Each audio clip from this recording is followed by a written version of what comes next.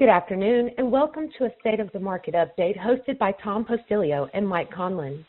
Joining us for an important conversation about the current state of New York real estate market, a review of the July new, new contract signed report, and the opportunities and challenges ahead are our distinguished guests, Howard M. Lorber, Chief Chairman of Douglas Elliman, and Jonathan Miller, President and CEO of Miller Samuel, and the author of the Elliman Market Report.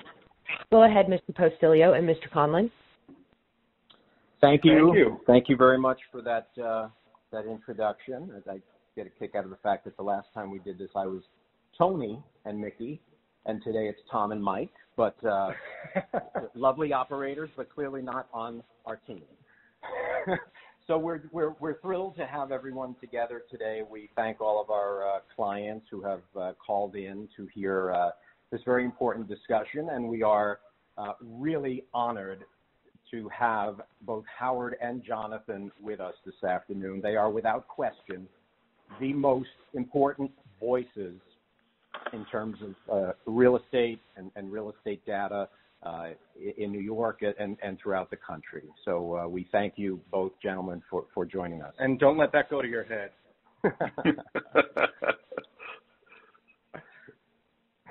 so, so uh, before we get started, uh, we just want to take a minute to uh, thank this wonderful group of VIP clients who took time out of their busy schedules to uh, be online with us. And uh, a lot of you have sent us some really terrific questions, and uh, we've discussed some of those with Jonathan and Howard. And um, we'll we'll fold those into our conversation. Yeah. So, so thank you to those of you who, who did send in questions, and, and um, we will hopefully get to as many of them as we can. So, in the context of where we stand at this very moment, so for the first time in history, New York City real estate was shut down. We could not show properties from March 16th through June 21st. And we kind of got the biggest kick out of it. On, on June 22nd, we got like 100 broker emails you know, back to work, back to work. And, Mickey and I shook our heads. We are like, we've never worked harder in our lives throughout those past three months, you know, trying to uh, keep all of the deals that we struck uh, pre-COVID together, you know, as, as people were trying to renegotiate uh, and, and the, the madness of, of, of that moment. But um, fortunately, we were able to uh, to get them all uh, through the uh, the closing process, and they, they, they've now closed in the last month or so. But uh, yeah, uh, and a lot of people have heard stories, and discussed this further, uh, about buyers who uh, had gone into contract pre-COVID who were trying to renegotiate or get out of their contracts. And we had heard stories about discounts 5%, 10%, and there was a lot of panic in the air. And when we when we had a few contracts that tried to negotiate, and our position was, this is not a housing crisis. This is a virus. Business is simply shut down. It has not changed the value of real estate. So we are declining to renegotiate. And of, of all of the most extraordinary thing we saw was one buyer who tried to renegotiate. We refused and made an unprecedented move and walked away from their 10% deposit without a fight. Yeah. And we've never, ever seen that happen but all of the other deals got to the closing table. So it uh, emboldened us uh, to push forward, to hush the naysayers, and to look at the market data for what it is. And it's it shouldn't be rooted in fear. Yeah, and at the moment we, we we've got about 30 sale listings all over the place: co-ops, condos, resales, new dev. Uh, at all price points, all neighborhoods, and we have about a dozen rentals, same thing, all, all price points, all neighborhoods. And we're finding that it's generally slow on all since we've been back to being able to show uh, properties again as of June 22nd. So, uh, and for the first time ever, it's very interesting. We've got a lot of sales on the market uh, for both sale and rent at the same time, and, and we're, we're really uh, not seeing a lot of traction uh, in terms of, uh, you know, it's very active, it feels very busy, but but things are not um, really transacting. So, so Jonathan, your your report is out. The media is spinning with it all over the place.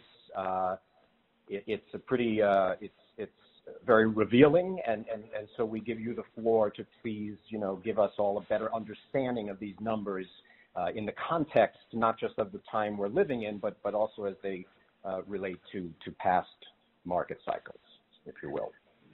Sure. Sure. So did you say I had five hours to answer that question?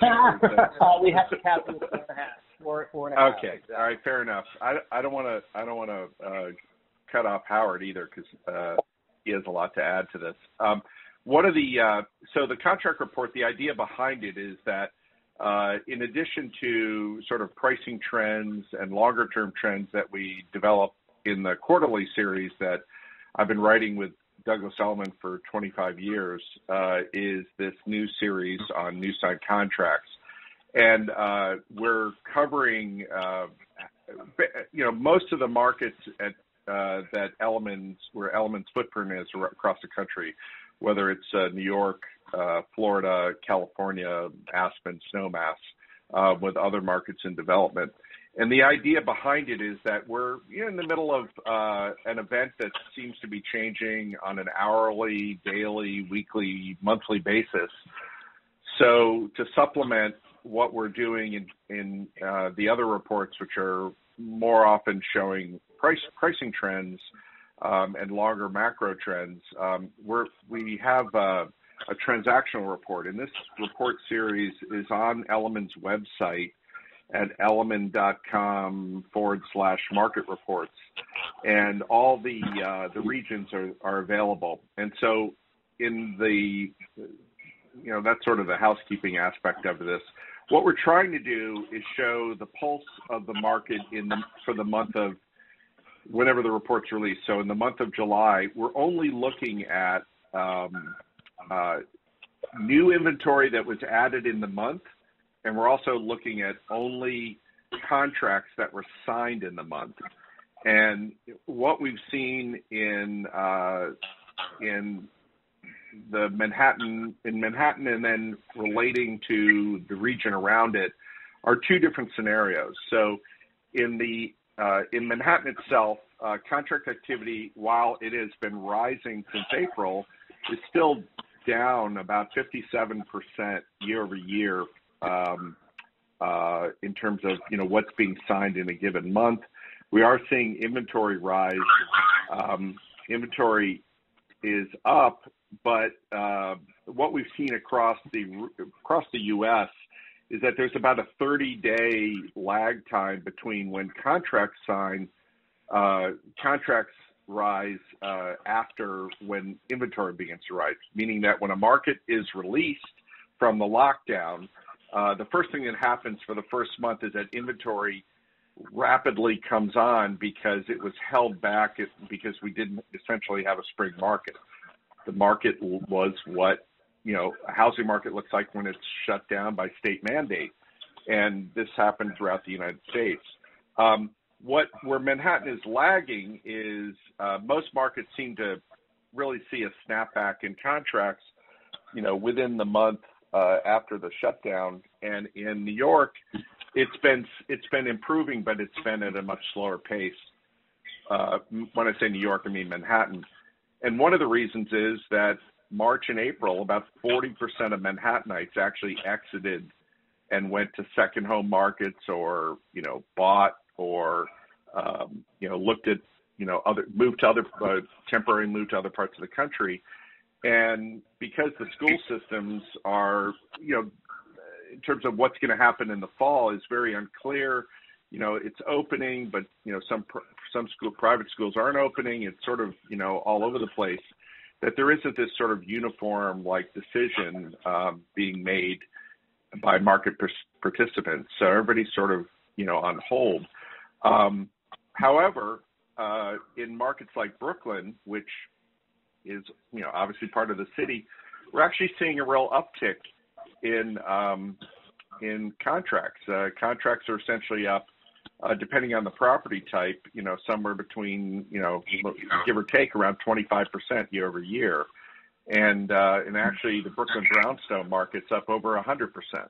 So so it's more about Manhattan and the vacancy or exit that occurred in the beginning of the lockdown than it is a sort of city versus suburban narrative. Uh, the other thing is when you look at uh, the city itself, is that, and this is really a misnomer that I think will be corrected going forward, is that, uh, and I still uh, talk to my colleagues, uh, you know, in the valuation business around the country, and they still associate Manhattan or New York City with, you know, we had a COVID problem because of high density, when in fact it wasn't high density. It was really, um, you know, if you looked at at the peak, you know, in sort of April uh, of COVID, the infection rates were much higher in um, in markets like Staten Island and the outer reaches of Brooklyn and Queens and Manhattan, and they have the lowest density, but they're very suburban-like. So to say that the city is inferior or less safe than the suburbs, density is a is certainly a factor, but it's not the issue. The issue is really wealth and mobility, um, and and that has played out. We have, you know, in this report we talk about the Hamptons, which you know, sales are up more than 100% year over year, and uh, the upward trajectory literally has been a rocket ship since uh, since April, and uh, it even started a little ahead of when the state, uh, you know, pulled back in first uh, in early June, allowed the market to reopen, um, and then other markets like the suburbs. Um, like Westchester and Fairfield, you know, we're seeing actually um, greater growth in contract activity at the higher end. The higher end in the suburbs have, has been asleep since the financial crisis, and now we're seeing it it increase. And I think some of that is coming at the expense of Manhattan, and other is just this sort of release of pent up demand because there was no spring market, um, sure. you know, because of the lockdown. As, and that's as, sort of the said, sort of the top line. Uh, got it. Overview. As you as you said on one of the previous uh, town hall calls with our company, with all the agents across the country, the, you know, the, the, the second quarter in New York didn't exist. It was surgically removed from the calendar. So we're, we're kind of right. having it simultaneous with the third quarter. But as you know, uh, you were very helpful to us with our own appraisals. You know, we have a home in Nissequogue, Long Island, and uh, where we have never spent as much time as we are uh, have been lately. So you say uh, that so excitedly. no, it's great. It's it's great. I never uh, never spent this much time here, and we've never worn less neckwear. Yeah, and and, uh, and I and I've learned that you know I, I shouldn't try my hand at gardening because the first day I decided to pull some weeds, I pulled out my back. So, but oh. uh, but I digress. But but but this area too. I mean, we're getting you know we have we expanded our team to uh, to Long Island as well, and we're getting a lot of calls from locals here asking about the values of their home and you know if they're waterfront or if they have a pool, et cetera. So there's uh, you know Long Island seems to be booming as well. Uh, Jonathan, I'd just be curious. Absolutely. Much, with the, uh, the the booming Long Island market, for instance, how much do you think is uh, just a natural progression of that market from where we were pre-COVID? To um, the quote-unquote exodus from the city? So uh, if you look at a suburban market like Long Island, um, you know, first of all, Long Island, and when I say Long Island, I'm really talking about Long Island without the Hamptons and the North Fork. And mm-hmm. uh, since the financial crisis, Long Island has uh, been by far this has seen the strongest growth in both activity and prices uh, that you know we haven't seen the you know as much strength as you know in Westchester and Fairfield County specifically. Um, and one of the things, one of the characteristics has been of that market has been it's been soft at the top, uh, like the North Shore, and tighter as you move lower in price. However, like I was saying earlier, um, the strongest uh, growth, you know, if we look at percent change year-over-year, the strongest growth rate in the Long Island single-family market has been above $1 million uh, on a mm-hmm. year-over-year basis, July over July. Uh, contract activity, meaning the number of contracts, are up 151%.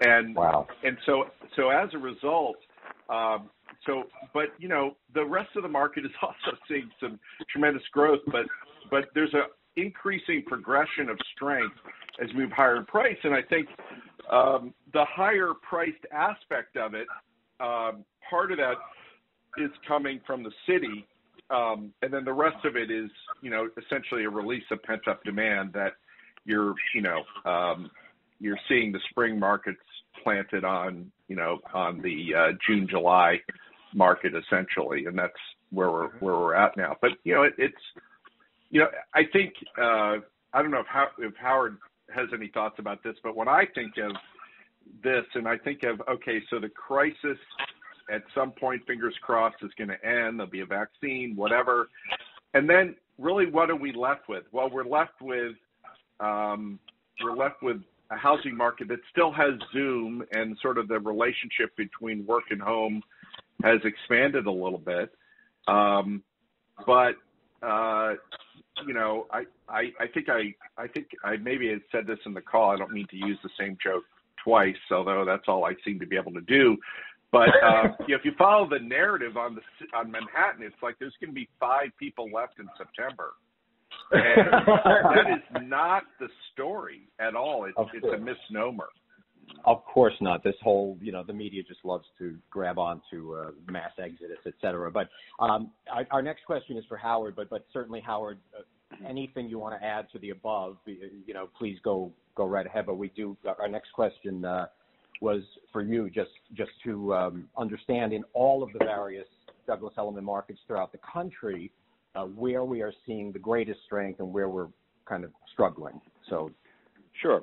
Um, I agree most of what's said by uh, John, which is unusual, right, John?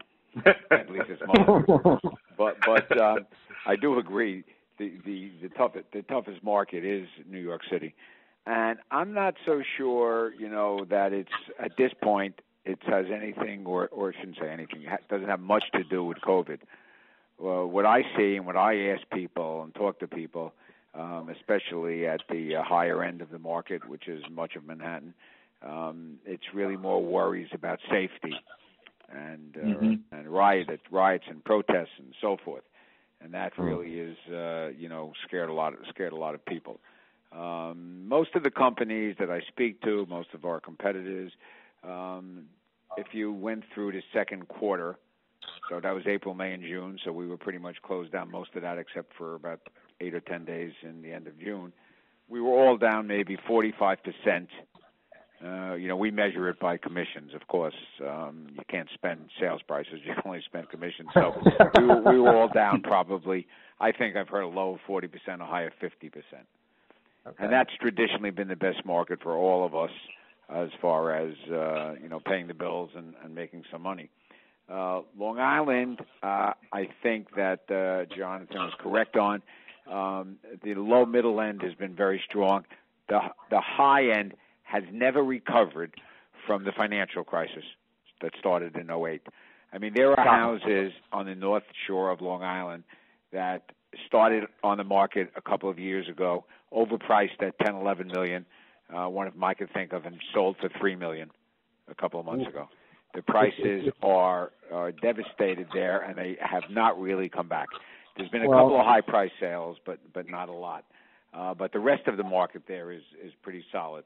Florida has been stellar, um, uh, especially the east coast of Florida. Uh, probably our business is probably up for 30, 40 percent, and uh, the number one market, I think, definitely in the country, maybe the world at this point, has been Palm Beach.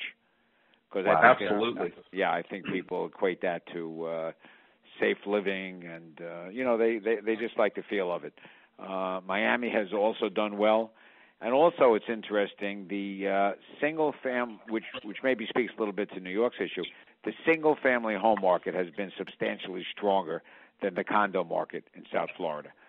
And I think that's because people don't want to deal with walking into a building, uh, going through a lobby, you know, the doorman, the concierge, uh, the people by the elevator.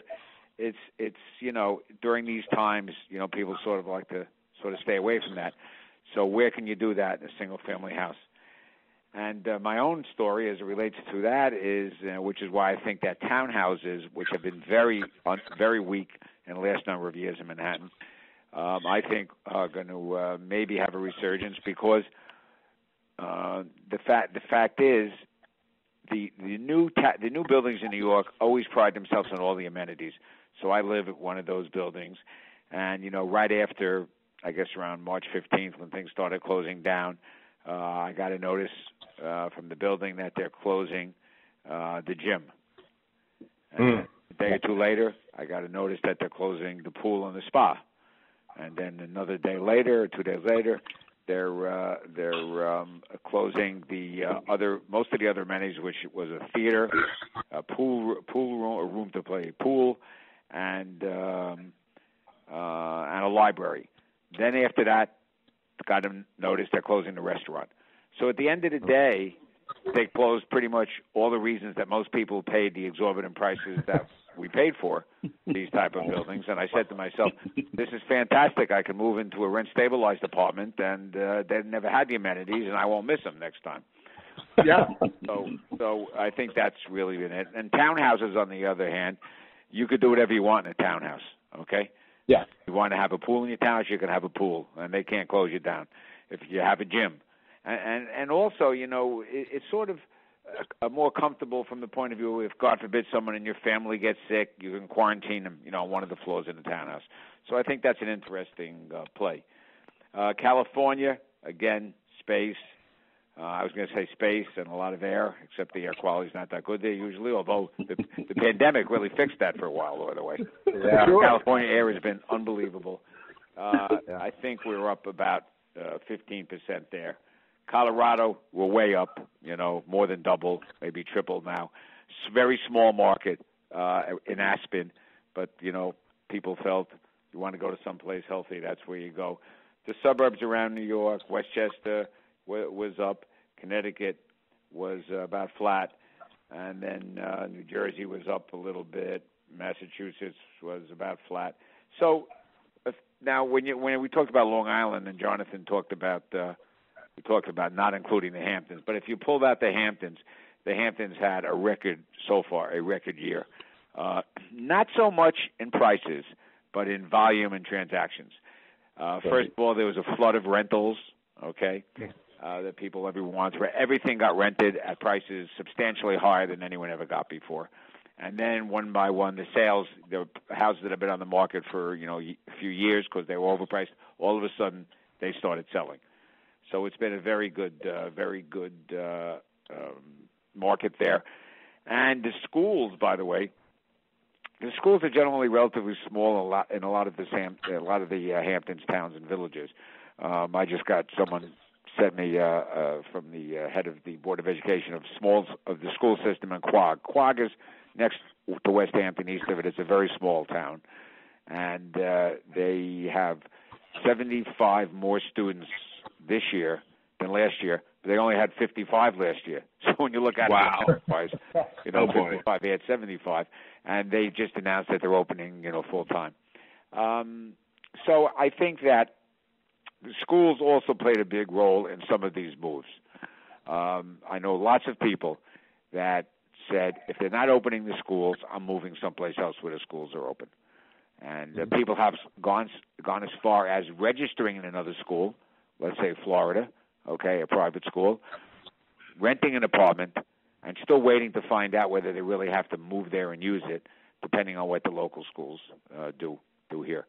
So there's a lot of uncertainty and so forth, but obviously there are some uh, good markets around, and and I, you know, the- and and also I think we have to realize, look, the the flight from the city really has started a while ago. Okay, now we always it never was that bad, and we always had new people moving in, and look, the city is is a great place, and there's a lot of high paying jobs, and there are certain people that can never leave.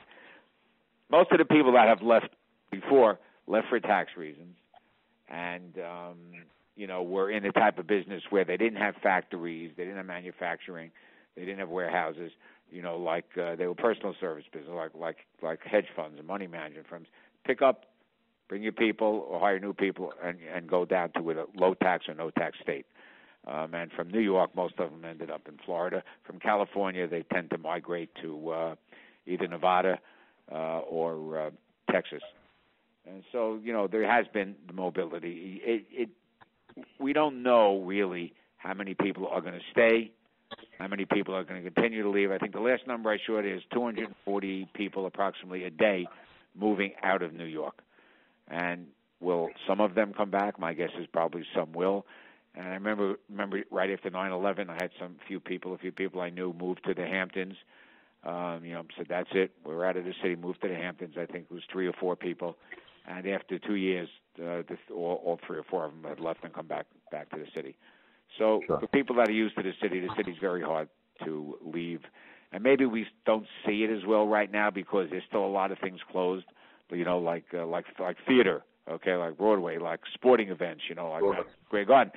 You know, I, I I saw I saw yesterday it came out that this is the first year since the 1930s that Radio City Music Hall will be closed and they won't have the Christmas show with the with the rock. Wow. So Yeah. I think those things are, you know, obviously bad, but I imagine when um, there is a vaccine, that that will that will help. Sure. Sure. Well, and the fact is, you know, we've we've had a lot of people too asking about timing in the market because, okay, we were we wondered if when the market opened up again, would people be rushing to buy? They rush down into the market, but they're just not signing contracts. So we're looking at the markers down the road, and we said, is it you know after Labor Day, back to school, literally and figuratively, everybody's you know back to business as usual. It's a presidential election year. We remember four years ago, things slowed, came to almost to a halt until after the election, and then we were as busy as we could be between mid-November and the end of the year. Yeah. I mean, Uh, also, also the the busiest part of the market, and I don't know, Tom Mickey, I think you know you've seen this also. The the the best part of the market for for New York City right now is two million and under. yeah. Sure. Yeah. That's been We've seen very We- very have- busy. Even bidding wars and things like that. The worst end is the top is the top end Yeah. because everyone yeah, wants the big price. the price. Yeah, we we had uh, through the through the shutdown, we had a uh, situation uh, with a multiple bid situation on a on a beautiful uh, apartment uh, in Greenpoint, Brooklyn. We were able to get twenty thousand dollars above the list price. It, it was listed at one nine seven five. We knew it shouldn't have a two in it. Uh, some offers came in around one seven, one eight. We went to a best and final, and they closed uh, a couple of weeks ago at uh, But- twenty thousand. But that had two things going for it. It's Brooklyn, which is as hot as it can be, and it was a garden uh, duplex.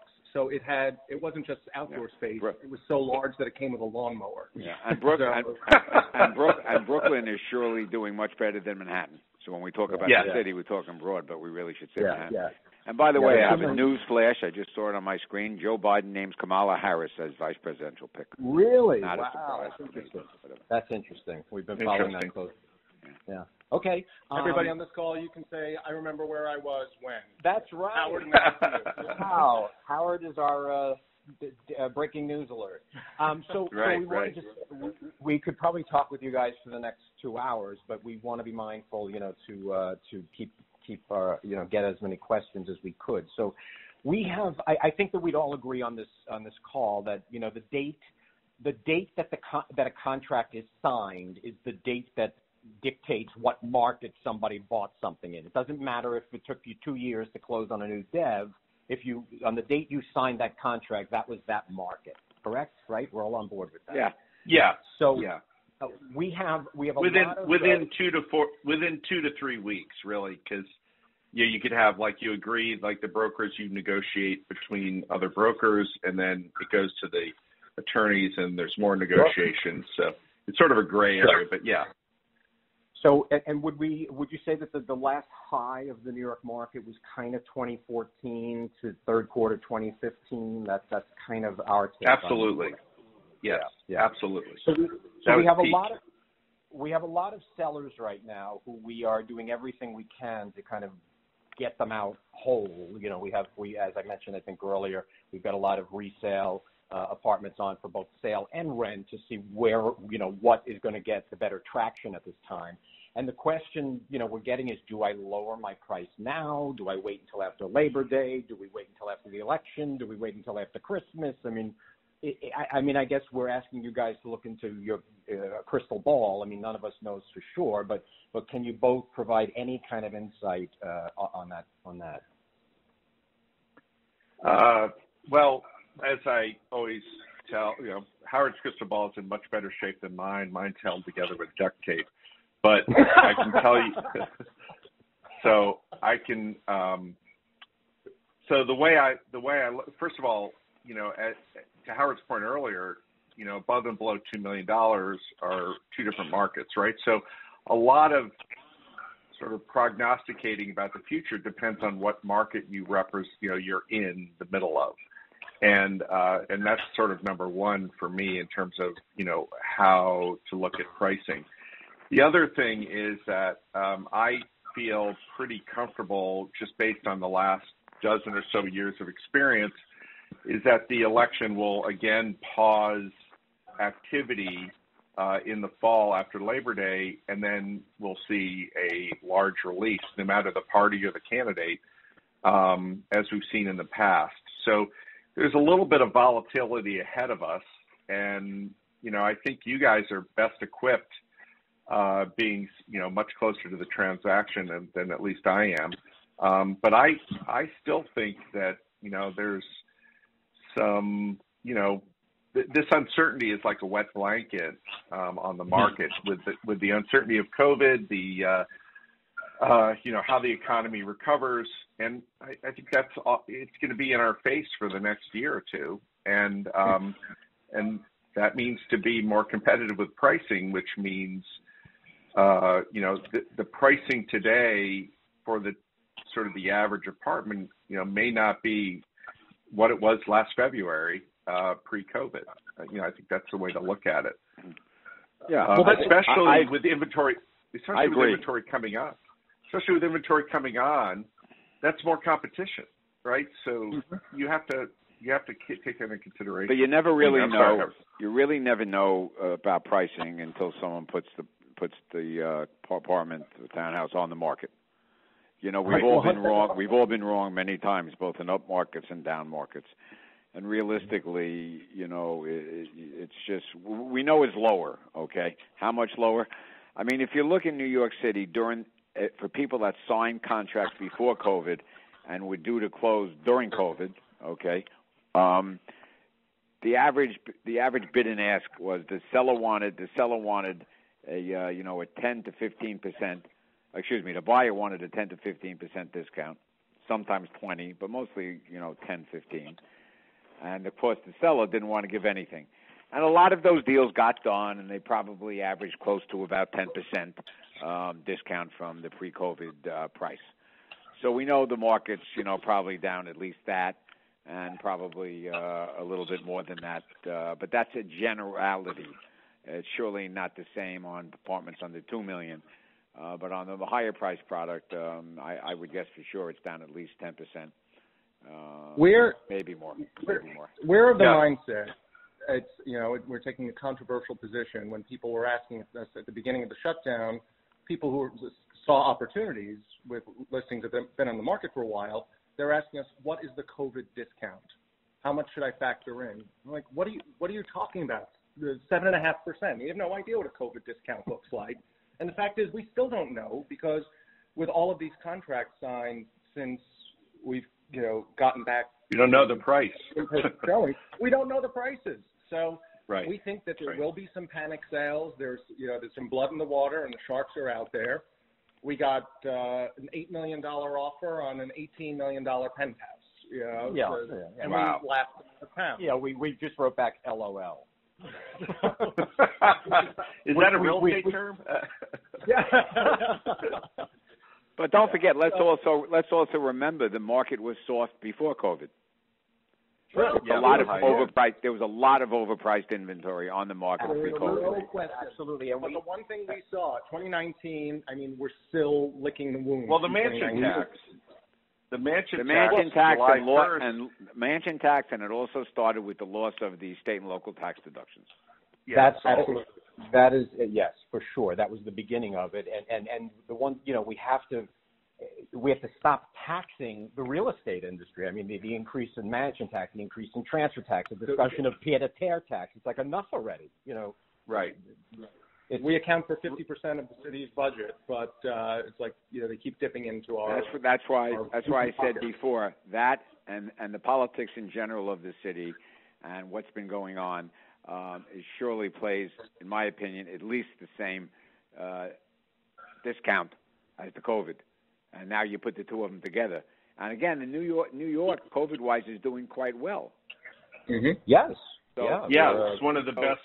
Yeah, Yeah. one of the best in in, in the country. Yeah, now. when when even when we got back to showings, once we could finally go back to uh, show properties after June 22nd, you know, Mickey and I had headed back to the city, and we've been going back and forth to uh, on an as-needed basis now. But uh, uh, it it felt a lot better than we thought it, it was. You know, we had some trepidation, but we did our we did our masks and our distancing, and we signed all the COVID forms for the showings, and you know, uh, hand sanitizer, and, and people were back out and were showing properties. It's like, okay, life is going to go on, and uh, and, and in a different way. yeah, and this is going to pass. So, um, Right. yeah, we're we're we're optimistic. We're optimistic. It's just a it's a tough moment, and, and and as you said, I mean, the word uncertainty, uncertainty doesn't bode well for for anything. So, Right. um, yeah, But we're also big believers. Pent up demand doesn't fizzle away. It will stay pent up until until a vaccine is announced, or uh, you know, when theaters open again, restaurants open again.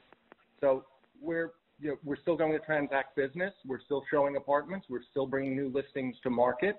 People need a place to live. People need to sell and move on. So business will continue, but uh, Jonathan, we you know look to you to enlighten us as these things come, you know, as the as the numbers reveal themselves, so we can Yeah. guide our sellers and buyers better. Because Yeah. we have buyers who are hearing what a great time it is to be in the market, and we have one one couple in particular who bid on two apartments and they've been outbid in bidding wars on both, and they, Right. they thought it was a buyer's market. right, right, Well, but, but, Right. but not. Yeah, Right. and th- that's that's around the million dollar price level. So, um, Jonathan, what is the uh, we have it in front of us, but what is what is the exact num? What's the inventory on the market in New York City right now? The number of apartments for for this moment. Uh, so okay, so in the the new reports that I do, the uh, the numbers are. Let me pull up. The the numbers are not what you're asking me. Um, the actual supply on the market right now. I'm just pulling it up. Is sorry. Uh, Yeah, no, we just I was just concerned that because I, I have the paperwork in front of me too, but uh, there's so many numbers on this. just Yeah. well, just oh, so so here's perspective on inventory. So you know the the inventory numbers in we track it monthly, uh, just overall inventory, not new listings that came on in the contract, or just overall as well. And at the end of July, there were about 7,800 uh, Manhattan listings, which are primarily co-op and condo. That's 98% of the housing stock. Um, that uh, that number is still about 25% below the peak that we had in 2009, right after the Lehman collapse, when it was uh, well over 10,000. So Wow. so inventory is still high because it's been averaging over the last four or five years somewhere around uh, 6,000 units. So we're at 7,800, but it's still not really that close to the 10,000 that we saw right after Lehman.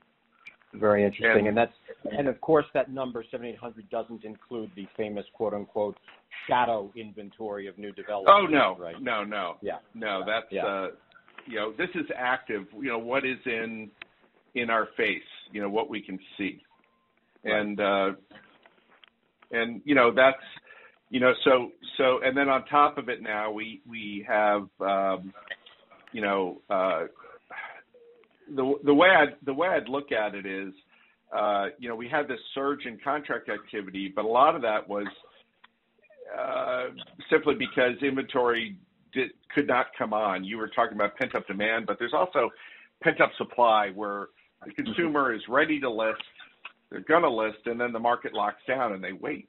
And then so instead of it coming on in May, it comes on in August, and and comes on with the same person that would have listed in August anyway. So you have this sort of you know short term burst of supply, and that's what we're seeing right now. Sure, sure. And, and Howard, on the topic of, of new development and the shadow inventory, I mean, what what can you offer in terms of you know where where are we headed with all of the the, the new dev inventory that ha- has to be absorbed in this market and Well, and, and the stuff has Yeah, the good the, yeah, there, there's quite a bit of new development inventory, but don't forget um, what's going to happen now is you're not going to have any new buildings. You're not going to have any Mhm. new building probably for a couple of years. So they're going to get through this inventory, okay, and they'll get through it by uh, an improving market and by also uh, reducing prices. You know, these prices actually, you could tell pretty much, you know, when they're being reduced, you know, pretty pretty quickly. And uh, we started uh, having some projects reduce prices pre-COVID, you know, going down, you know, 10, 15 percent, and we did a lot of deals. Okay, uh, you know, in a short a short period of time. So we know that we know that, and we know today is probably more than that. And uh, the rationale for that is, you know, you know, p- people generally are going to be more aggressive if they need to buy something right away, okay, and maybe Mhm. pay a little more than they wanted. But if it's something that's two, three, or four years out, they're going to say, well, what am I in a rush for? I'm not going to be able to get it for two or three or four years anyway. So uh, Understood. I think- right. So I think that's the way it's going to work. Okay. No. Uh, and, and where uh, w- would you offer, you know, to to to our clients on on the phone? Where where might you suggest the best opportunities are at, at this point? I mean, I guess it's really case by case with every seller, but Yeah, any- yeah, yeah. It depends what neighborhoods they're comfortable in. Um, look, the Upper East Side, uh, you know, uh, has you know always been a favorite, as has been the West Side um, Mhm. for, for new development. Um, the worst market is really the older Upper East Side co-ops and the older Yeah. Upper West Side co-ops because Sure. they all need gut renovations. It costs a fortune to renovate today, and you have to deal with the board and you have to deal with work rules and so forth. I mean, you know, what was always for years considered one of the best buildings in New York City was 740 uh, Park Avenue. Um, Mhm. and, yes. and by the way, things that were 40 million dollars a few years ago there, you could buy for 20, 25 million today. So Wow. they've already had pre-COVID, they've already had a big price decrease because they weren't what people wanted today. They don't have the same amenities as the new buildings have, and so forth. Um, They didn't experience the boom over, the you know, uh, past the financial crisis that, you know, essentially they developed a new competition in luxury and it was condominiums. And condominiums aren't going away. It was condominiums, and then you had all new towers facing the park with every amenity imaginable. And Right. that's what uh, you know people at the high end wanted, and they paid for it. Exactly. Good stuff. All right, gentlemen. Uh, wow, it's it's. Can you believe we're on the phone forty? Uh, it's almost forty-five minutes already. This is fun. we have Time to goes, do this time goes fast. Time goes fast when you're having fun. We have to Yeah. do this quarter. And, uh, we had we were so excited, Howard. We had a surprise plan for you, and we uh, unfortunately, due to a, a dispute with the musicians union, we had to cut the band from today's call. Uh, so, uh, so you're not going to sing. You're not going to sing for us. cut your solo. you know, we'll, we'll we'll tell everybody uh, who's listening that that you know in all of our town hall meetings with all of the agents, uh, you know Howard always uh, ends each each um, discussion with a, with an inspiring quote, and he's had a lot of them uh, over these months. Uh, Winston Churchill, I know many times, and uh, John F. Kennedy. But um, because we we come from you know we have a background in the uh, in the music business, we we hung up our microphones a very long time ago. But you do know that um, you know our hero is a certain gentleman who was born in Hoboken, New Jersey. and so uh, to, to wrap us up here today, we'll say a great big thank you to you to both uh, you, Howard and Jonathan, for, for joining us and, and uh, talking with us and our clients. And we're going to give the, the final word. We're going to give the final word to Mr. Sinatra because we believe wholeheartedly in New York. New York City is the center of the universe. It is the greatest place on the planet where 8 million people of all walks and stripes and countries and everything live together on top of one another. and and it works for the most part. It works really quite well. So we can't wait to get back to it. And uh, we're going to have Mr. Sinatra sing us out. So thank you all for joining us. and we look forward to talking to you all again soon.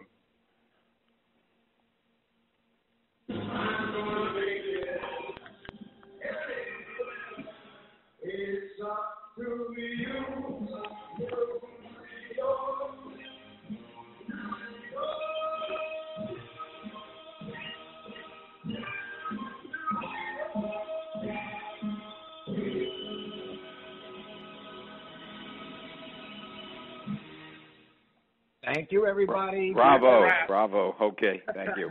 stay Bye-bye. safe. Stay safe. Thank you. This does conclude today's conference call. We thank you for your participation and ask that you please disconnect your line.